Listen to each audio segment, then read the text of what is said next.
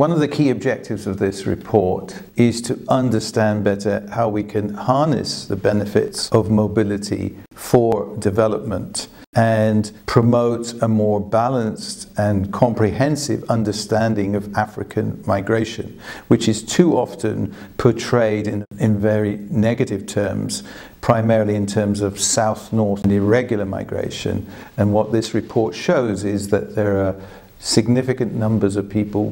moving within Africa, between different regions, between different countries, uh, usually for work, and that that kind of migration is bringing significant benefits to countries of origin and destination.